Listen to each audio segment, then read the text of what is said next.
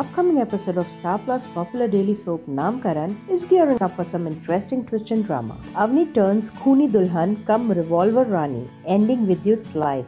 Avni has turned Vidyut's bride to save his perfect family from Vidyut's evil trap and thus takes a drastic step. Avni agrees to marry Vidyut but takes an oath to kill Vidyut and secure her family from Vidyut's cunning tricks and drama. Avni finds bridal avatar and gets ready to marry Vidyut with a gun in her hand. Avni takes an oath of do or die or to save her family. Avni takes Neelama and Ashima's blessings to give her the power to save her family. What new twist awaits up is the next wait and watch about about this. Keep watching our channel TV Prime Time for more such exciting updates and upcoming